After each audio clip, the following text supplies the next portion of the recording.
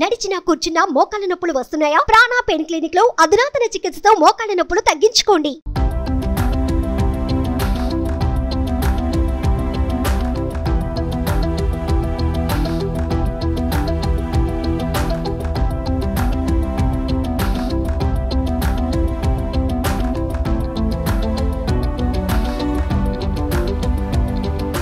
Hello welcome to Suman TV pets this is doctor Srinivas పుల్ప small animal veterinary practitioner so ఈరోజు మనం alopecia గురించి మాట్లాడుకుంటున్నాం alopecia అంటే loss of hair అలాగే shedding hair shedding గురించి మనం ఈరోజు డీటెయిల్గా మాట్లాడుకోబోతున్నాం.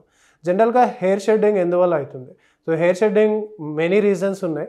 సో ముఖ్యంగా ముఖ్యమైనవి ఏంటంటే ఒకటి పారాసైట్స్ రెండు అలర్జీస్ ఇంకొకటి hormonal imbalancing third nutrition imbalancing and fourth మనం stress and anxiety and fifth infections. So ఈ ఫైవ్ పాయింట్లో మనం డిస్కస్ చేసుకోబోయేది ముఖ్యంగా పారాసైట్స్.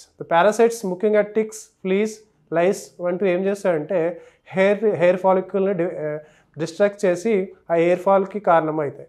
సో అలాగే ఈ హెయిర్ ఫాల్ దేనివల్ల అవుతుంది? ఏ రీజన్ వల్ల అవుతుంది? ఈ ఐదు రీజన్లో అలాగే కామన్గా ఏ రీజన్స్ వల్ల షెడ్డింగ్ వస్తుంది అనేది మనం వెటనరియన్ అనేది ఒక standard person can identify and మీకు uh, ఆ రీజన్ ఏంటనేది uh, ప్రాపర్గా డయాగ్నోస్ చేయగలిగితే కనుక ఈ హెయిర్ షెడ్డింగ్ హెయిర్ షెడ్డింగ్ అనేది కంట్రోల్ చేయగలుగుతాం. ముఖ్యంగా ఈ పారాసైట్స్ తర్వాత మనం ముఖ్యంగా చూసుకోవాల్సింది ఇన్ఫెక్షన్స్ ఇన్ఫెక్షన్స్ అనేది డెర్మటాలజికల్ ప్రాబ్లమ్స్ అనమాట డెర్మటాలజికల్ ప్రాబ్లమ్స్ ఏంటంటే ఫంగస్ కానీ బ్యాక్టీరియా కానీ అలాగే skin parasites like demodex sarcoptes mange ఇలాగా కొన్ని డిసీజ్ బారిన పడితే కనుక స్కిన్ డిసీజ్ బారిన పడితే కనుక హెయిర్ షెడ్డింగ్ అనేది ఉంటుంది. సో ఈ proper identification of skin issues చేయగలిగితే కనుక హెయిర్ షెడ్డింగ్ని కంట్రోల్ చేస్తాం. ఇలాగే ముఖ్యంగా యాంగ్జైటీ స్ట్రెస్ వల్ల కూడా హెయిర్ ఫాల్ అనేది మనకి పెట్స్లో చూస్తాం. అండ్ ఇంకొక కారణం ఏంటంటే న్యూట్రిషన్ ఇంబ్యాలెన్సింగ్ ఈ న్యూట్రిషన్ ఇంబ్యాలెన్సింగ్లో మీరు ఫుడ్ సరిగా ఇవ్వకపోయినా అలాగే సరైన ప్రోటీన్ అందకపోయినా ఇట్లాంటి ప్రాబ్లం అవుతుంది. సో ఇవి కాకుండా ఇంకా కొన్ని కారణాలు.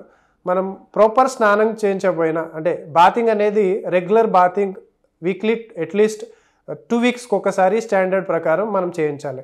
అలాగే రెగ్యులర్గా చేయించడం వల్ల ఏమవుతుందంటే స్కిన్ పైన ఉన్న ఎసెన్షియల్ ఆయిల్స్ అనేవి పాడవి అలాగే స్కిన్ మీద ఉన్న ఇమ్యూనిటీ పాడైన వల్ల కూడా హెయిర్ షెడ్డింగ్ అనేది మనకు అవుతుంది అలాగే ఓవర్ బ్రషింగ్ ఇప్పుడు గ్రూమింగ్ చేస్తామని చెప్పి ఓవర్ బ్రషింగ్ డైలీ కొంచెం ఎక్కువగా బ్రషింగ్ చేసినా కూడా మనకి హెయిర్ ఫాల్ అనేది ఉంటుంది.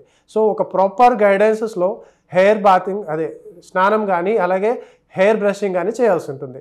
ఫాలోడ్ బై ఇన్ఫెక్షన్స్ ఇన్ఫెక్షన్స్ మనం ఎలా కంట్రోల్ చేయగలుగుతాం? Infection proper bathing proper medication proper nutrition ఉండడం వల్ల ఇన్ఫెక్షన్స్ బారిన పడవు. ముఖ్యంగా ఈ మాన్సూన్ సీజన్లో మనం వర్షాకాలంలో పెట్స్ బయటకు వెళ్ళి తడవడం వల్ల ఏమవుతుందంటే ఈ మాయిశ్చర్ ఉండిపోవడం వల్ల బ్యాక్టీరియల్ ఇన్ఫెక్షన్స్కి బారిన పడుతుంది. Bacterial infection is nothing but pyoderma. Canine pyoderma అంటారు అనమాట అలాగే కొన్ని డర్మటోఫైటోసిస్ అంటే ఫంగల్ ఇన్ఫెక్షన్స్ పారాసైట్స్ మెయిన్స్ అంటాం. ఈ మెయిన్ ముఖ్యంగా బయట స్ట్రే డాగ్స్ నుంచి కానీ అక్కడ ఉన్న సాయిల్ నుంచి కానీ ఈ స్కిన్ సెన్సిటివ్ ఉన్న టైంలో ఈ మెయిన్స్ అనేది ఎఫెక్ట్ అవుతుంది mange is nothing but scabies for the dogs. ఈ ఇటువంటి ప్రాబ్లమ్ ప్రాబ్లమ్స్ని ముందునే ముందుగానే గ్రహించి మనం డాక్టర్ దగ్గర తీసుకెళ్తే కనుక ఈ ఇన్ఫెక్షన్ని మనం కంట్రోల్ చేయగలుగుతాం. Thank you